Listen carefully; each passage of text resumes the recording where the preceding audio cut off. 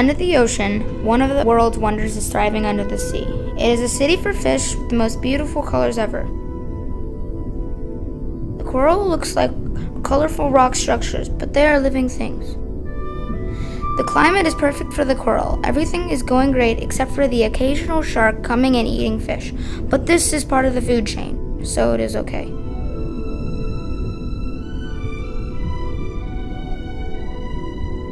Today's coral reefs are being affected by global warming more than in the past. Not only is global warming affecting coral, but human civilization too. Humans are squirting toxics like cyanide into the coral to get out any hiding fish for their aquariums. We have blown up parts of coral by dynamite to capture fish. They have been suffocated by farms and construction sites.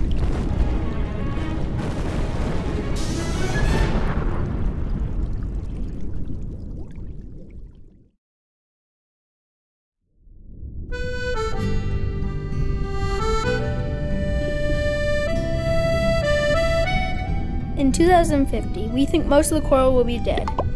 Sadly, all that's left of the coral will be white due to coral bleaching.